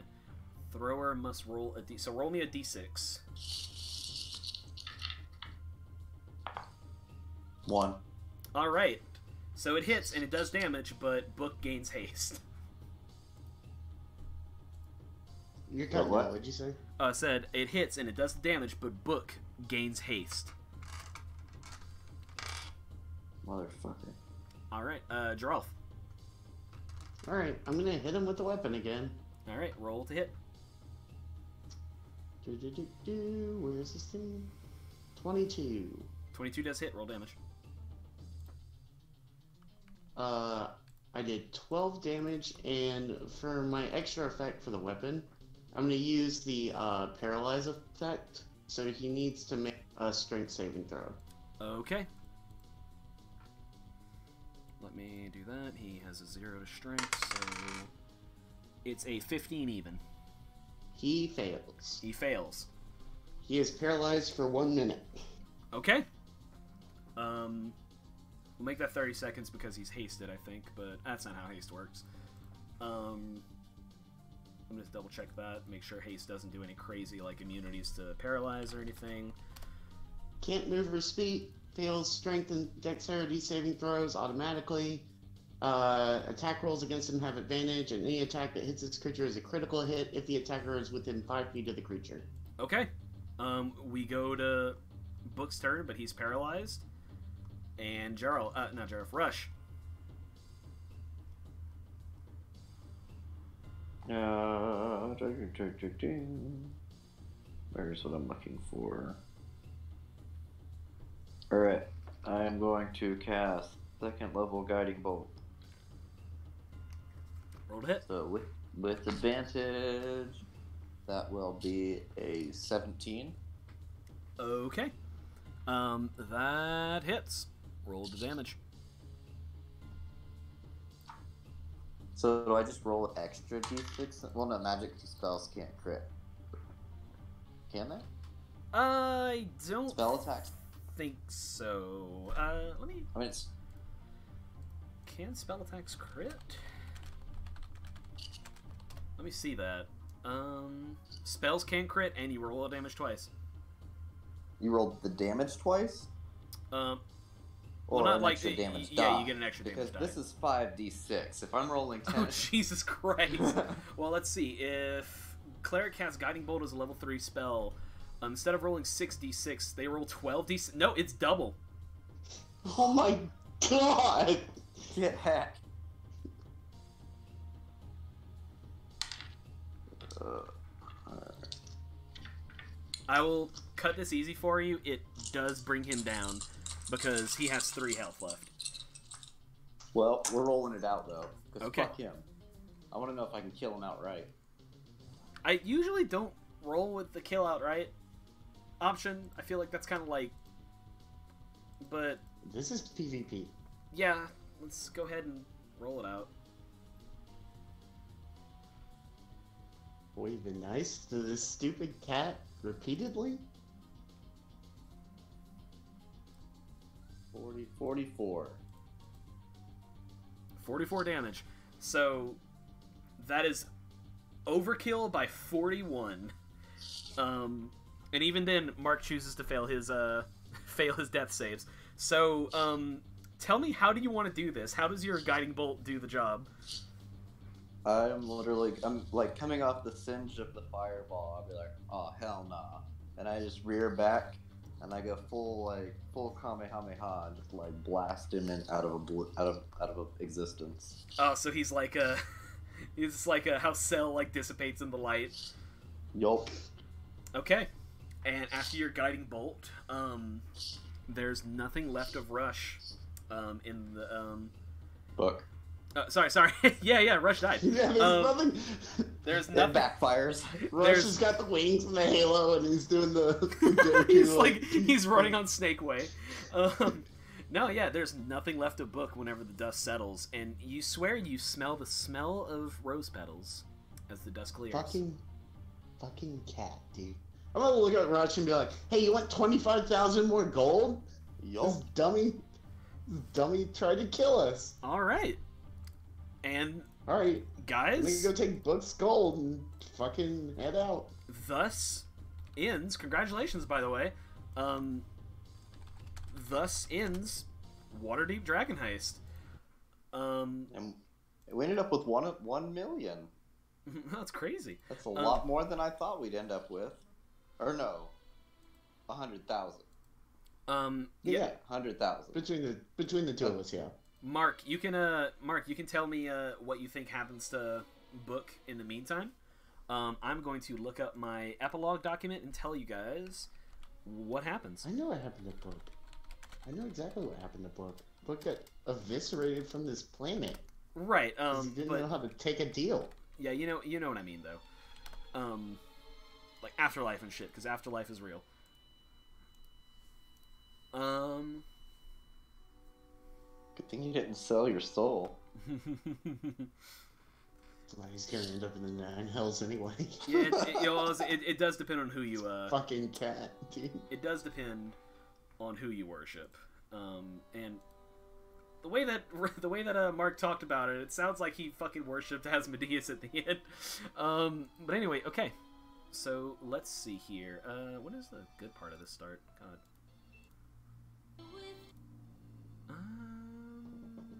Yes. Um, let's just go with fucking Dear Beloved, because why not?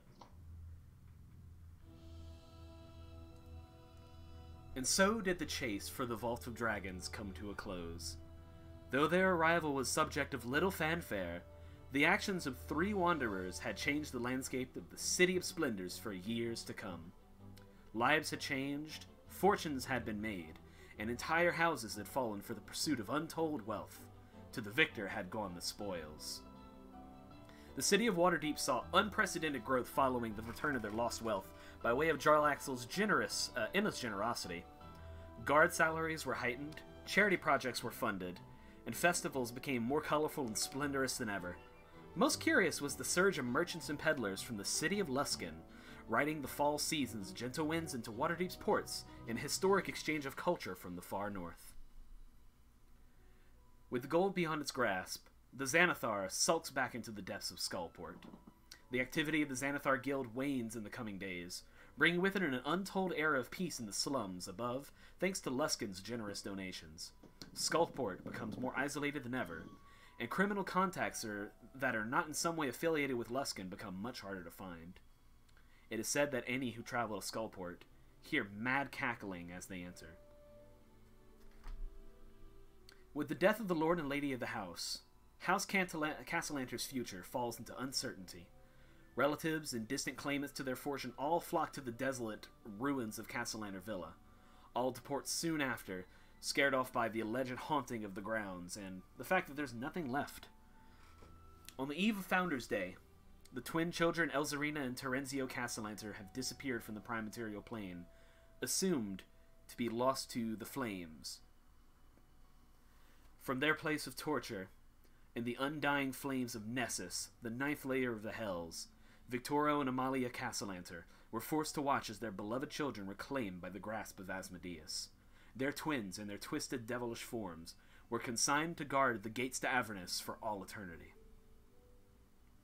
With the contents of the Vault of Dragons safely returned to the rightful hands of the city's rulers in the name of Luskan, the mysterious ships under the command of one Captain Zardoz Zord departed as quickly as they had arrived, completely abandoning their involvement in the Founders' Day's festivities. Less than a month followed before the historic announcement of Luskan's admission into the Lord's Alliance, taking the seat once held by Baldur's Gate. What was once seen as a wretched hive of scum and villainy was now an international power with real influence over the land of Faerun. No longer content with being a lord in the shadows, Jarlaxle finally reveals his true face to the realms as the real Lord of Luskan, and his dark elven nature is largely overshadowed by Luskan's contributions to the restoration of Waterdeep's wealth. Not content with attaining the old seat of Baldur's Gate alone, Jarlaxle sets his sight on the Lord of Neverwinter, Lord Dagult Neverember himself. His embezzlement during his reign as Open Lord of Waterdeep have been exposed, and he finds himself the target of a political scandal headed by none other than the One-Eyed Lord of Luskan. The future of Neverwinter's status as a member of the Lord's Alliance grows more tenuous by the day, and Jarlaxle's enduring grin grows wider each and every month. Let's see. Cha-cha-cha. Having uh, assisted Jarlaxle in his bid to instate Luskan as a legitimate power upon the Sword Coast, Song and Dance returned to their home city as heroes to their fellow uh, Lusker citizens. They had survived poverty and betrayal in Baldur's Gate, untold hardship during their times with the Inquisition, and the cloak and dagger machinations of Brigand and for their efforts, they were able to live without fear of poverty ever again. The twins grew apart in the time that followed their return to Luskan. Dance, mm, excuse me, Dance was given proprietorship over the One Eyed Jacks, the favorite tavern of Bregan D'aerthe in the city, and became a world famous host known for his flamboyant entertainment style and his weekly fashion shows. Song, however, was never comfortable in one place for very long. Though she was Jarlaxle's longtime lover and confidant, as a non drow, she would never be able to truly join Bregan D'aerthe. After the thrill of being a local hero and partaking in Luskan's trademark hedonism had finally lost its luster, Song packed light and then set off on another adventure. Some say that she walked into the abandoned host tower of the Arcane and departed the word of Abeir-Toril, choosing to walk the plains in search of new inspiration for her music. One fateful day found her in the ladies' ward in the interdimensional city of Sigil, where she had a fateful encounter with the discerning shopkeeper known as Vriska Sorket. Their extraplanar romantic ex- escapades were have said to even made Sune, the goddess of passion and love, blush. Let's see, blah blah blah. blah. Manshoon withdraws from the city of Waterdeep soon after Jarlaxle's generous donation, as does the mysterious Zhentarim. Only rumors and whispers remain of his involvement, and the mysterious archwizard moves on to his next plan for world domination, this time much quieter. So let's go across the board as according to the um, the arrangement of people. And by the way, I love this. Um, Rush is still purple during the final confrontation. I just how fitting. Um, so yeah, you guys tell me. Um, let's start with Geralf. Where does Geralf go from the from here?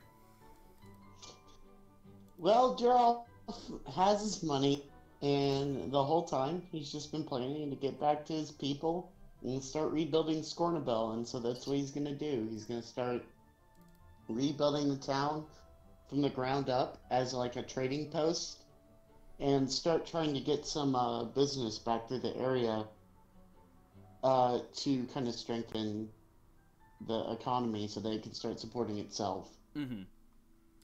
And um, I think, in light of his contributions, I think that the people of Scornubel try to elect him as their mayor. Do you think he accepts?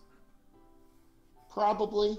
Uh, on a very like superficial level, he probably, you know, uh, outsources a lot of the actual delegating and stuff to people. But uh, just so that he can be out actually working around the town and doing things to be helpful. Mm-hmm. And um, seeing as the next time we pick up in this setting, well, you know, we might jump around, but the next time we pick up in the setting is going to be a hundred years later. Um, does he like ever settle down or? Yeah, he just eventually, you know, he he sets apart a little hillside with a tiny farm and maybe meets a nice girl and just uh, kind of disappears back into the into the background where he can just kind of relax and remember his good times with his buddy Rush and that damn cat. All right, Rush.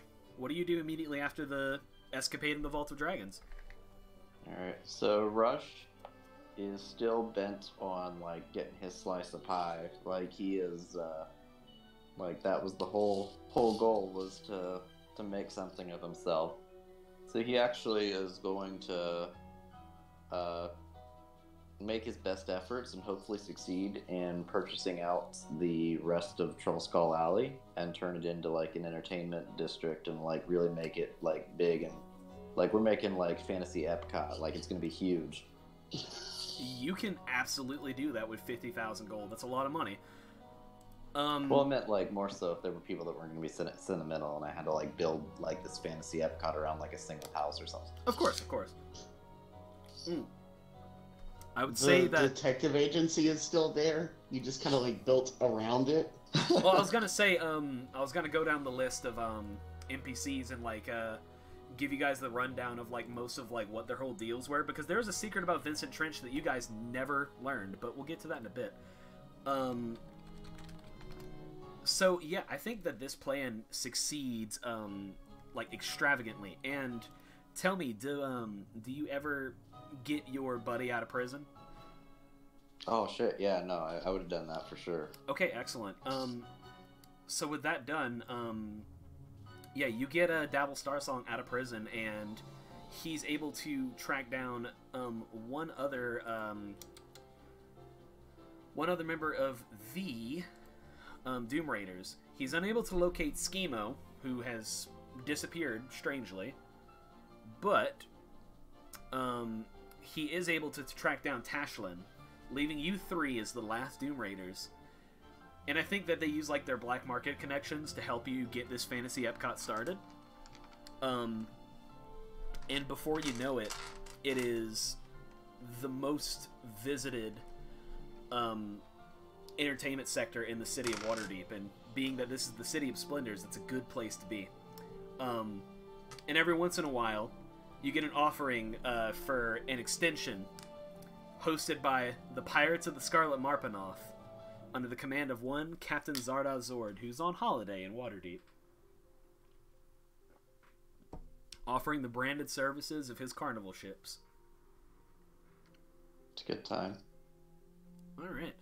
Um, I was gonna say, and long term, what is um, how does Rush like end up? Do you think?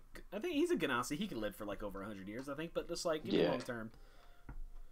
Yeah, no, I think uh, I think what he's gonna do is he's gonna settle in, like make his make his fortune, and like um, and as he begins to grow older and more wise and not quite naive, because keep in mind, like Rush was like 18 when we start. Like Right. he's like he got like real lucky making his fortune young. Like he has no real world experience. He starts to uh, delve into uh, what his uh, his newfound deity actually is, and as he's learning about you know how like the inner workings of the city and how like functions work, he kind of realized like that Jeremon was kind of a piece of shit. Damn. And so he just like quietly like renounces his religion because I mean there's no point more like he's he's made it made made himself like you know like he's not gonna be like outwardly like hey fuck Jeremiah he's just gonna kind of like not practice I guess like he's just gonna kind of fall out of it like he's not gonna like try to actively upset Jeremiah or like We're church is renounce Jeremon. We're just not practicing.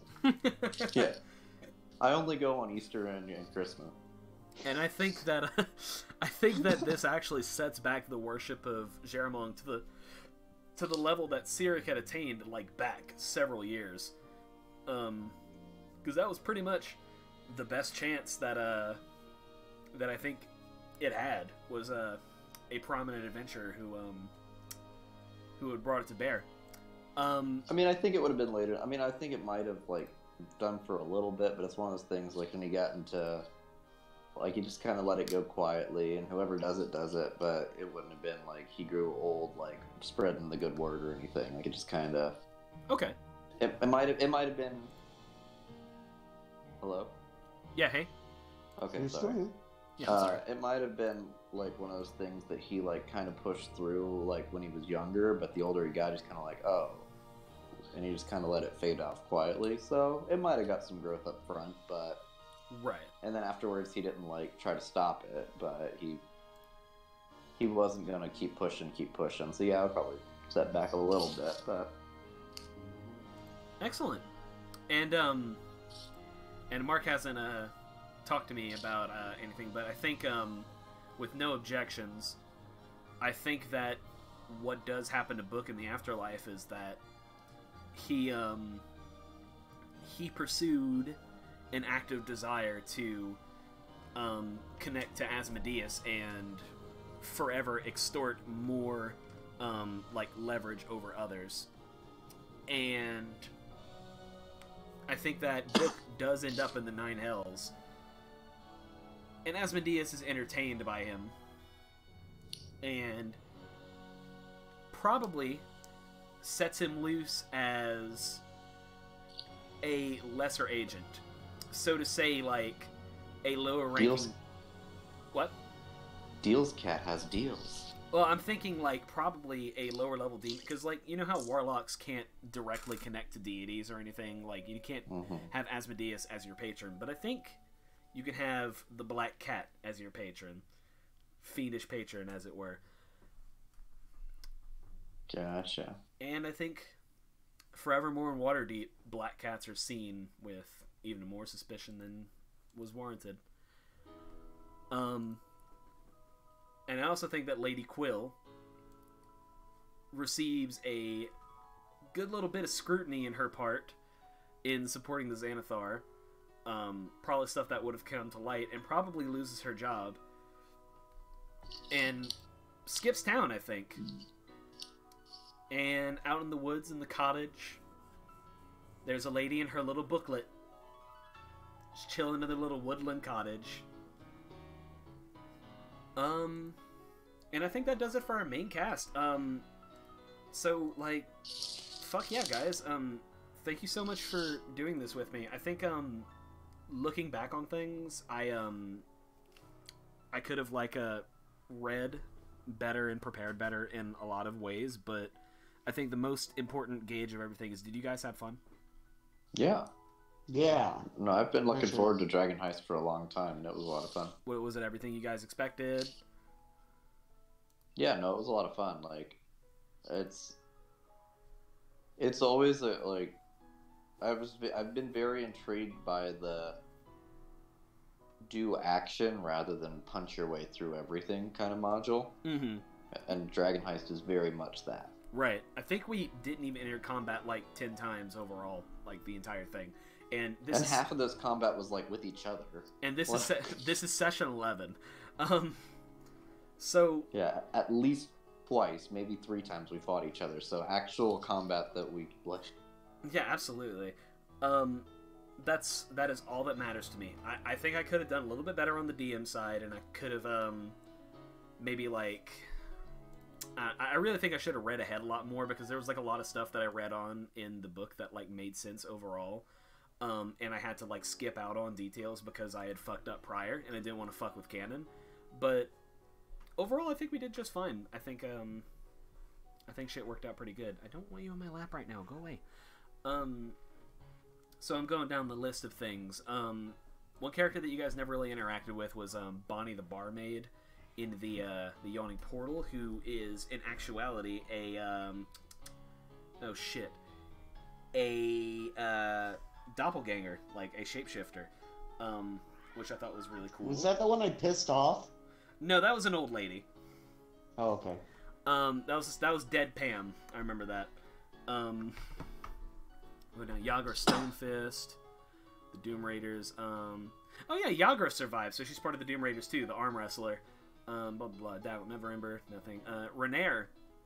Um, the reason why, um, the reason why Renaer did not follow you guys is because the wisdom save that I've been making you guys do for the Stone of Golorr the entire time is a mind control save.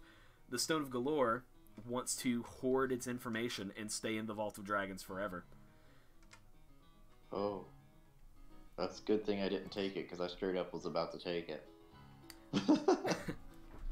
So, honestly, unless like the Stone of Golorr um, is ever sought after again, with the fact that the Vault of Dragons is now empty, um, probably won't ever be breached again. So Renaer probably stays in there until the end of his days, which is probably not very long. Uh, except maybe like you know Stone of Golorr whole uh, living thing, but I think it mostly discards Renaer. Um, Dead Pam, the very rude uh, waitress. Let's see. Uh, Captain Staggett, guard Tasha Nefira's alive. Quill out in the in the woods nowhere. Um, Lif, Lif the uh, ghostly bartender probably stays with uh, with Rush for the rest of the time he does, and he probably stays there for a lot longer. Um, really happy with um how, as a matter of fact, because of like how happy he probably is with the amount of business the Trollskull's getting, he probably finally like gets the piece he wants and passes to the uh, to the afterlife like at very long last. We Um, actually did something good. Just 100% like a good thing. hey, we, it has we been so long since we have done a good thing with no other other people intentions other than it's true. Across campaigns, it's usually what can the Just- boys heck up today? or like it's like we'll do good things but only because it benefits us somehow or it's like the best option for us. Whereas the the trollskull thing was probably just a good thing that we did.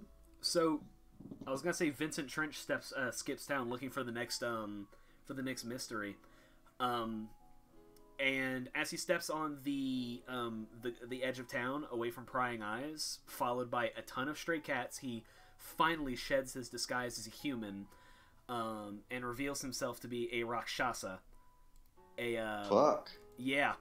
Um, the the owner of the Tiger's Eye, um, is in truth a Rakshasa, a tiger-shaped demon who, uh, kind of like actually it's less of a demon and more of like a genie-esque kind of creature. Um, but Vincent was oh really he could have hacked us up well, he really and truly was just um, truly not super evil. He just wanted to solve mysteries, which I think is just Huh. so funny. Yeah, when you said Rakshasa, I was like, oh fuck, he was not a good, good little kitty. No, Uh, he yeah, he just mostly wanted to solve mysteries. It's it's funny. I really love how Vincent like. There's a lot of stuff in this book which is clearly made just like to be completely non-consequential, but that doesn't mean it has to be uninteresting. You know what I Mhm. mean? Um, Rakshasas are scary though. Their hands are on backwards. Yeah, no, Rakshasas are like fucked, man. Like, um, Like legitimately, their hands are like on, attached to their body backwards. no, I, I know, trust me. And they usually like It's go around terrifying. with shamshires and stuff, and they're just total douchebags about most things. Um, so let's see. I'm going down the list of all the people that are in uh, Trollskull, and like generally around the um, around the board, the old half elf, the lesbian genasi. Uh, Oh, and when I bought them out, I bought them out handsomely, so they all can have pretty good lives. right, and I figure some of them might want to even like stay on and uh, like help anyway. Um, that's fair. because like you know everything works better if you have gay genasi. Um, Rochelle the page turner, uh, Skeemo Weirdbottle, um, one of the members of the Doom Raiders, the um, the Deep Gnome, actually uh, was a plant for uh, Manshoon. Um, that I was really leveraging on what um, was going to happen to Rush was if he went to Skeemo first, or if he tried to get um, Davil first, because Skeemo would have tried to sell him out to the uh, to Manshoon. Um, Oh. he was a plant. Uh, Mert the moneylender, long time guy. He mostly doesn't do anything. He's still weirdly old. Um, Zardoz was always Jarlaxle. Sir Reginald. I think we better leave Lufir to to like to be a mystery. Sir Reginald is he he just goes off to his next adventure, man. It Oh, could be oh, yeah. it could be anywhere. He Absolutely. Hmm. he may show who knows. He shows up in Avernus, it's just like how the heck did we get here? he just gets there and he's like, God damn it, not again. Um, like, Cal, you read the map wrong and she's like, I don't have thumbs. er? I, it wasn't me. Um, Volo is definitely off running his uh, his own deal. Volo is going is alive, but like a lot of these important characters in Forgotten Realms are like even though they're human, they all live like several hundred years longer than they're supposed to, and that includes Volo. He's probably going to be around a hundred years later selling books, um, and skeeving people out again.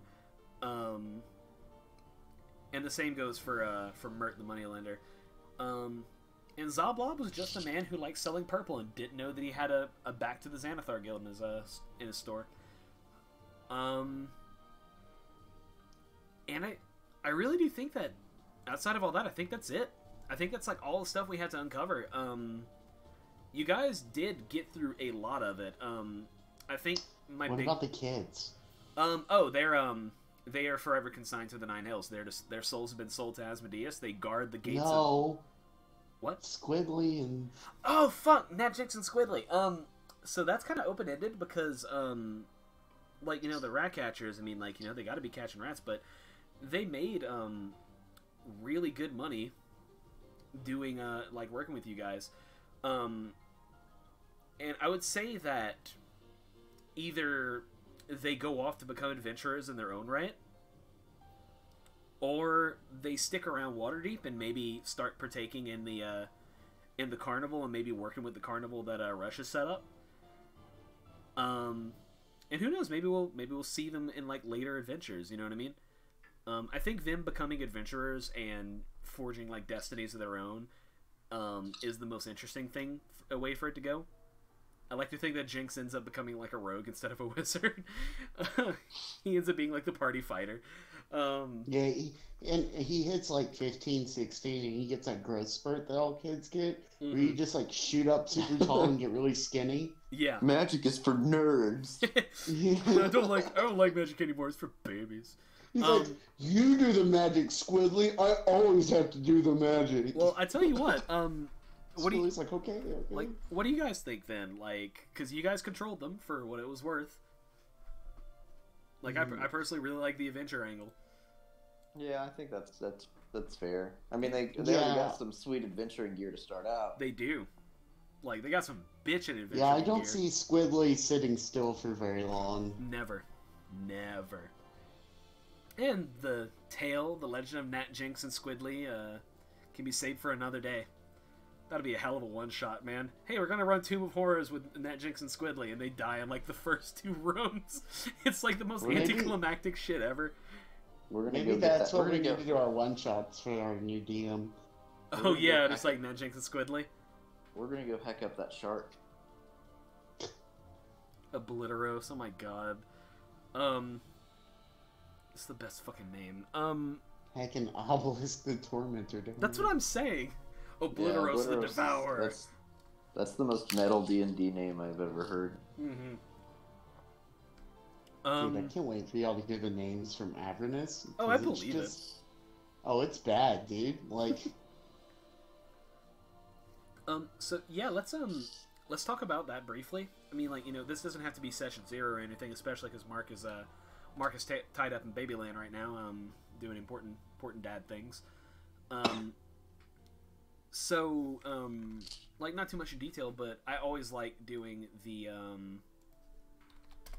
I always like introducing. I, we're gonna do this like you know the the whenever we actually do play, we're gonna be like, I'm Tyler and I'm playing blah, and I'm Emily and I'm playing blah.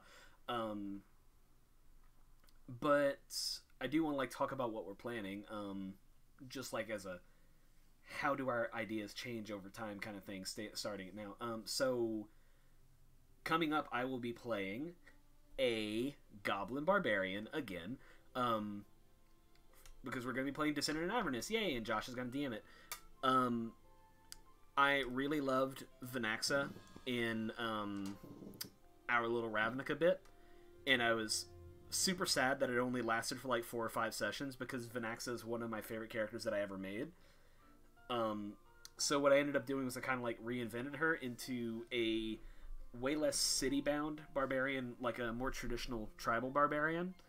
Um, so she's a neutral evil, um, wild soul barbarian uh, infected with like Feywild magic and can't help but like unleash it whenever she rages and stuff like that. And she wants to be the strongest. She wants to win glory and take over shit that she believes is rightfully hers. And I think she's gonna find Tyler, more than she bargained for. Tyler, can you send me that table as well? Oh yeah, absolutely. I have it in my character sheet too. Because uh, I think I have some ideas for that, Okay. Um, and uh, we may make some modifications down the road since it's gonna be a long campaign. That's fair, and I, I have no problem with it changing over time. Um, it's just she doesn't get to access it at level one, um, but thematically, she is still like a magic anomaly. Um, Oh yeah, yeah, yeah. So, yeah. Um, and also my girlfriend Emily will be joining us because our other D and D group is floundered pretty hard. So, uh, yeah, she's joining us so she can actually play again. Um, these boys so generously uh, said yes to her being the fourth boy. Um, so she will be playing a uh, a Warforged artificer named Bebop eight three eight zero nine Sentinel unit designation Bebop. Um, who is basically they are a wandering mysterious stranger with a gun, and they just want to find a purpose.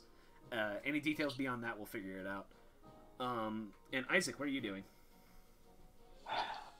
So I'm still workshopping names, and I'm between two backstories, but I am going to be playing uh, the Unearthed Arcana, uh, the Revived Rogue.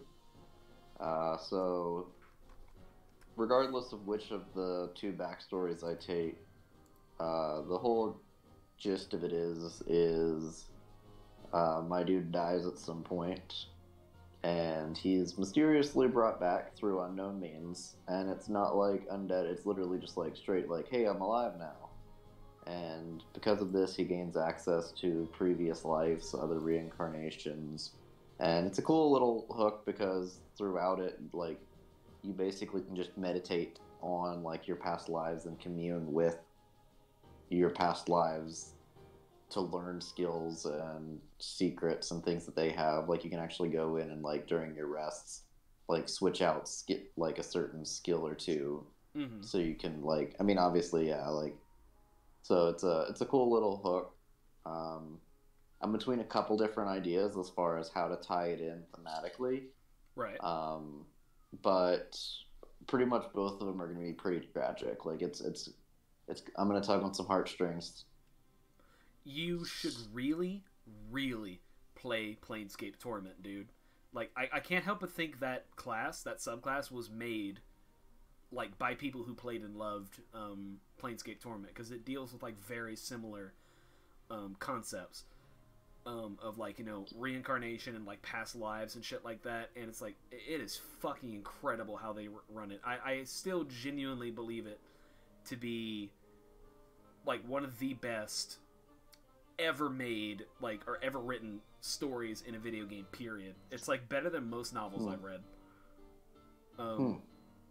so and it should be like five bucks on like Steam for like the enhanced edition. Right. So I definitely it, it takes a while. It's a very long game, and it's it's old school. So like it's kind of like modern modern conveniences kind of lacks, but still, it's it's Right. fucking incredible, and it's a story that I will never forget for as long as I fucking live. Um. And again, Mark is still out, and you know, totally justified. Um, hope he's doing good. But um, from what I understand, Mark is playing a character named Roland. Uh, Roland is going to be a grave cleric, um, sort of like a crusader against. He's gonna have him rolling in the grave. Oh God. God damn it. My character's name is Kaja, by the way, Kaja the Omen. Um, but yeah, um, and Mark's typing right now. Hey, Mark, what's up? We're talking to uh, we're talking about the characters we're playing next time, and I believe I'm correct when I say Roland is a grave cleric, um, a defender against demonic and fell energies, and just generally a watcher in the service of Helm, um, the god of watchers and defenders. Um, so like a very much like a fight fire with fire type. Um, kill these demons and protect the people. Um, and so that's like generally his job, yeah. Um, as a, um, I believe the original concept was a Van Helsing kind of a demon hunter. And I'm really excited to see where that goes. Um, so overall, yeah, we've got a pretty deft party composition. I mean, we've got barbarian in the front, we've got a rogue, an artificer, which is like a less squishy wizard, and a, uh, a cleric as well. So it's as far as party comp goes, it's one of the best we've crafted. I think helps that we have four people too. Yeah, and it's good that the party comp is good because uh, Avernus is no joke. Yeah, that's um, and he says he doesn't heal, which is lame, but we'll figure it out. Um, because uh, I think Art uh, Emily's artificer has a heal. Yeah, he does. Um, Now, to be fair, there's a ton of treasure to be found. mhm, So, like, if I go by the module, you'll be rolling in money. mhm. We are going to track it probably a little bit more closely than we have in the past. Yeah, that's fair. And I'm sorry that um, I'm sorry that you guys like end up with like fifty thousand gold pieces apiece and you don't get to do anything with them because the adventure's over. Uh, Um, I bought I bought a whole street. Yeah, you're right. It's about the adventure, dude, not the the Yeah, to be- resolutions. Well To be said. fair- Well said. To be fair, this party has never really been a big shopper thing. You know, we just Of course. mostly. I mean, mostly because you know, in session one of years and years ago, when we asked for a helicopter, and Tyler made it so shops just weren't really readily available anymore. Yeah. Sorry. Look, we yeah, I established think we if we're not established a to have a precedent. healer, Mm. Gotta give you places to buy healing potions and stuff like that. I mean, so- like Emily's character will have cure wounds. I know that, um, but no like cure cantrip, which most cure cantrips aren't great anyway. But you know, yeah, I mean that's not going to help at level uh, 13 or something like of that. So. Well, we'll see how we'll see how everyone develops. Who knows? Might take like just Yeah. randomly like fucking. Oh yeah, I'm gonna throw in divine soul sorcerer in there with my negative one charisma. No, I think I have zero charisma. It's negative two intelligence. I think I have. Um. But yeah, so I'm like super excited. Like I'm very much looking forward to having all that shit start up. Um. I just want to make sure. Um what is uh, so what are we doing like are we gonna roll next week or you need do you need more time to prepare No, I can go next week. I'm probably good for the first two or three sessions. Like I said, I have everything planned out for like the first quote unquote chapter, right and there's like four or five chapters in the book. got it So we can probably go for maybe even four or five sessions before we ever even hit Avernus, depending on how long it takes to explore and how long we have to play and things like that. Mhm. Um, so it, I mean, it just depends on how fast the party goes, but we, we're ready to go for the next few weeks. okay i will let m know um and i was um i still am planning on getting some art done of our party um that being said, it's gonna take way more than like a week. It probably will be a good little bit of the way into the adventure that it'll be done. But um, I have a uh, a really good artist that I've worked with before and commissioned before, and uh, I'm really excited to see what she turns out. So like the first title card will probably be just the reference art that we're using, but I hope that before we finish, I'll be able to put up a, uh, a title card with uh, just special art drawn for all four of our characters. Um, Something tells me long before we finish, you will be able to do that. Yeah, well, hopefully. so yeah, that's where we're going from there. I'm looking forward to it because you know, Josh did a good job with um with Ravnica, and that's where the infamous uh, oh wait they're ghost spawns. So like fun stories and combat to await. So yeah, I think it's gonna be awesome. Um, and I'm just glad to not be DMing again.